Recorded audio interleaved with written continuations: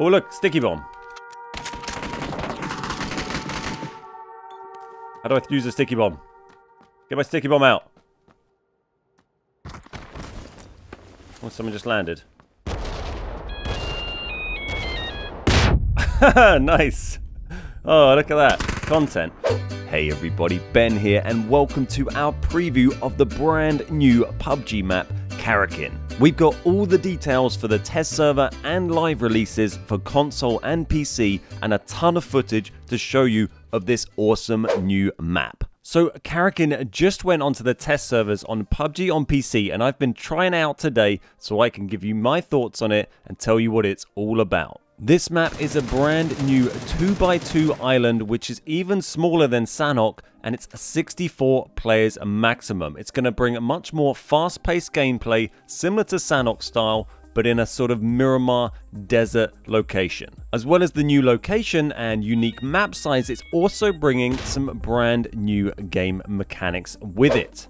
In this update, we get sticky bombs added as a unique item only on this map. And what these allow you to do, you can place them onto certain surfaces and they will breach them and destroy them. Not every wall can be destroyed with them in the game, but certain points can have them placed on either on walls or floors and you can breach through them with a sticky bomb and then go through. They also deal damage to enemy players and they work on a timer. They're not prox bombs, they're not C4. You throw them, you wait a few seconds, they make a funny little noise and then they blow up. As well as the sticky bombs, there is also destructible terrain you can shoot through. There are now certain walls in the game that you can fire a gun through and it will make a hole in that wall and also your bullets will travel through and hurt enemies on the other side. These walls can also be completely destroyed by using sticky bombs. Another new mechanic coming with this update is the black zone. The black zone is only on this map once again and it's similar to the red zone but what it does is it fires these huge rockets that you can see come down from the sky and they can actually destroy buildings when they hit them. The black zone can only appear around areas where there are buildings and it isn't guaranteed to destroy every building underneath the circle, but the ones it hits will be destroyed. Once buildings are destroyed, they'll then be marked on the map, as you can see here with the small crosses, and hopefully this will create some nice dynamic gameplay and help with digging out of campers and create some unique terrain for later on in the game. There has also been an RPG shown in certain promotions for it, but they've said that this is not coming immediately with the update, but it will come to this map at a later date, so expect some RPG action later on. Now, somewhat controversially, this map is going to replace Vikendi in map rotation. So Vikendi has now been dropped from the map rotation. It is still available on custom games, but you will not be able to play Vikendi in normal gameplay for the time being. On PUBG PC for the EU servers, you'll have normal map selection as before. On NA, you'll have a featured map system similar to how console had previously with Karakin as a featured map and the other three maps, Sanhok, Miramar and Erangel, available as other. Console will get the same featured map system as PCNA once it goes live, but it is going to have full map rotation during PTS to allow testing of the glider on Erangel and Miramar. Karakin will however have a much higher chance of appearing. Karakin will hit the PTS for console at 6pm PST on the 16th of Jan, which is tonight, and 3am Central European Time on the morning of Friday the 17th. On console, the game modes on the PTS are going to be restricted to TPP, solos, and on the NA servers. The update is scheduled to go live for console on the morning of Thursday the 30th of January. For the PC version of the game, this update is going to go live on the 22nd of Jan. Once the update goes live on console, we will be getting the featured map functionality back with Karakin as the featured map and Erangel, Miramar and Sanhok available under other maps. As well as the Karakin specific stuff and gliders, console will also see the Erangel and Miramar AR spawn increase that PC had recently as well as the addition of a new dynamic resolution feature, the new season pass, and several other minor tweaks and features. Hey everybody, how's it going? Hope you're enjoying today's video and are as excited about all this new PUBG content as I am. I just wanted to let you know about a couple of things we have going on that you might be interested in since you're watching this PUBG video. As you're probably aware, we stream on our Twitch channel every Monday, Tuesday, Thursday, and Friday. So if you want to come over and watch us play PUBG live, and chat with us and our community, then jump over to twitch.tv slash the beard guys. As well as that, we've also started a new YouTube channel where we publish our full Twitch stream videos over on the Beard Guys Live. So if you can't watch on Twitch or don't like to watch Twitch videos on the Twitch platform, you can now do that on YouTube by going to our new channel. You're going to see tons of gameplay on there that you won't see on our main YouTube channel, as well as being able to watch the full replays of the games that do go edited onto the main channel. I'll put the links to both those things down in the description below. Thank you for listening and I hope you enjoy the rest of today's video. I played a couple of hours of this on stream and you have to play on NA uh, and I was playing with controller on PC, but it didn't go too badly. We got a few kills and had a really fun time looking around. The sticky bombs are super fun, and I can see, much like with ledge grabbing, that slowly brought in lots of interesting new ways of playing the game. I think the sticky bombs are really going to do that on this map. And the same goes for the ability to shoot through walls. I'm looking forward to seeing some awesome clips of some great tactical moments. There's also some really interesting parts of the map. It can look quite plain on the surface. There is a few pockets of towns, then there is a lot of open space in the middle without an obvious central busy drop spot like the school or boot camp on the other maps. What there is, however, are some secret underground tunnels. There's quite a few of these and you can breach into them by using the sticky bombs. Some of them you can find under the domes that are marked with the red flags and some of them are just into the side of mountains. And if you go into these, you are able to find much better loot. Some of them are huge areas, and I found an absolute ton of loot, tons of canines and other DMRs and sniper rifles, tons of meds, and a lot of great stuff that I hadn't seen at all on the surface. So it feels like these underground locations are going to be real primary loot locations that people are going to hit up pretty hard. The loot balance itself hasn't been too bad. I feel like there could be a little bit more given the pace of the game they're trying to get from a 2x2 map. You want to get tooled up pretty quick. There is pretty much an abundance of guns. There's definitely not enough long range scopes. I found one 3x scope in just under two hours of streaming, and that was the only thing over a 2x that I found the whole time. So I feel like they'll probably tweak the loot table a little bit because the range scopes are definitely lacking.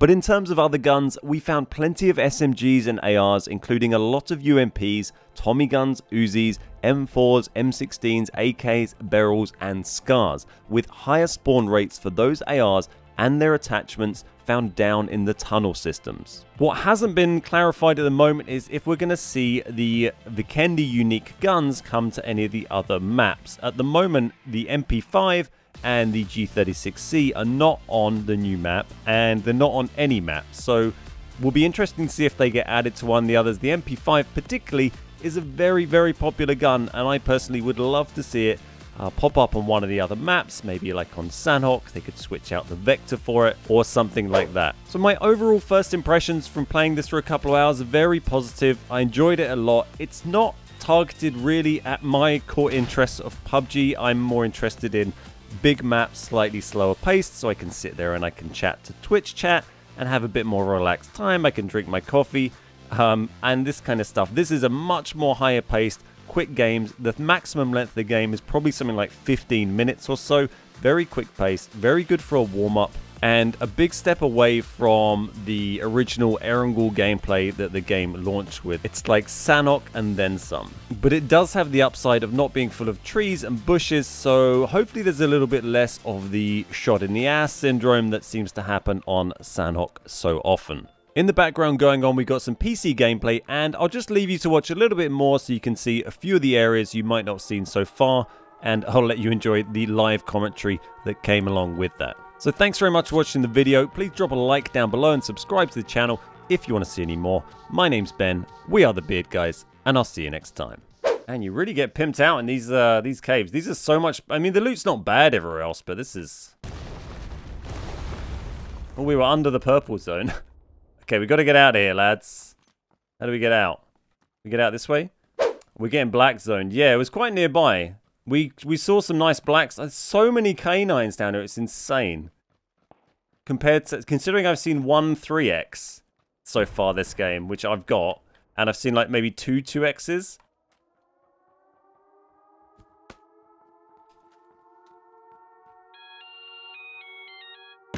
Hey Spoon, how you doing? Yeah. It's a pretty crazy amount of DMRs and snipers compared to scopes. and there's another bit you can get in there.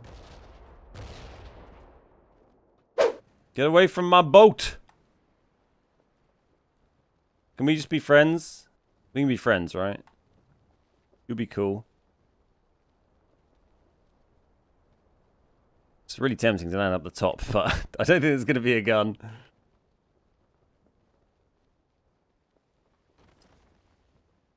Oh, there's there is more than one baddie here.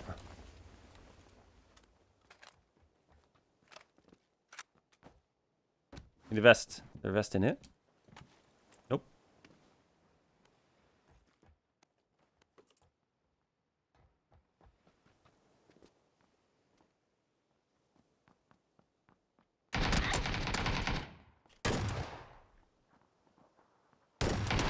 Oh, we got a nice tag on him as well, but fortunately couldn't one-bomb him.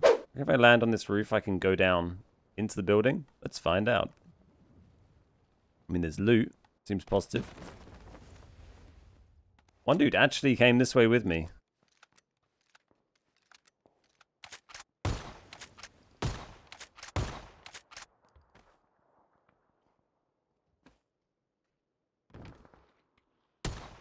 Hey, buddy. See you later. Not a good place to land. Oh, I wish I'd shot him out the air, but there you go. But this is like the floor that goes into the tunnels, so we can, uh, you know, look, we can come in here, all tactical. Sticky bomb away! Go, go, go, go, go, go, go, go, go! Kill the fridge! You know, like that, but more tactical. Oh, okay. Get get out of here. I want to see, that, look, we, I want to get in a building and get blown up.